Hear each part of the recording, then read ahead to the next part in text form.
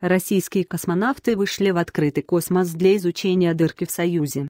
Космонавтика 19-14-11 ДЕК. 2018 сложность 1.2. Российские космонавты вышли в открытый космос для изучения дырки в Союзе. РКК «Энергия» российские космонавты Сергей Прокопьев и Олег Кононенко вышли в открытый космос. Внеплановый шестичасовой выход потребовался для первых в истории космонавтики следственных действий вне Земли. Космонавты должны добраться до космического корабля «Союз МС-09» и попытаться выяснить причину появления загадочного отверстия в его бытовом отсеке. Трансляция выхода идет на сайте Роскосмоса и на сайте NASA. Двухмиллиметровое отверстие в бытовом отсеке Союза, пристыкованного к МКС, было найдено в конце августа и сразу же заделано. Причины его появления до сих пор неизвестны, однако первоначальная версия удар микрометеорита была отвергнута, поскольку рядом с отверстием были обнаружены следы работы дрели.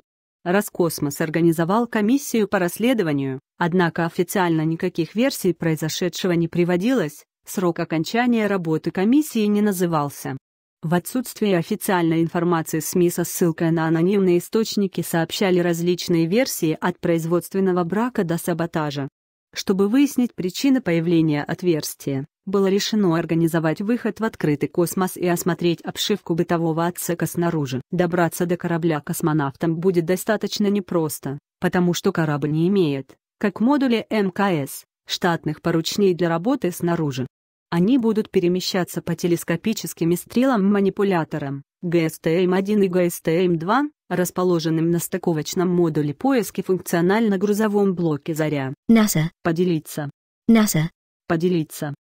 Затем им предстоит, закрепившись ногами на специальных адаптерах обеих стрел, вручную вырезать участок экрана вакуумной теплоизоляцию и защитную противометеороидную панель в зоне, где находится двухмиллиметровое отверстие, снять ее на видео, взять на исследование фрагменты обшивки, если после выполнения этой задачи у космонавтов останется время, они должны будут снять два устройства с образцами микроорганизмов, эксперимент-тест, и демонтировать с внешней поверхности станции панель с образцами для эксперимента выносливость, в рамках которого изучается влияние космических факторов на различные материалы.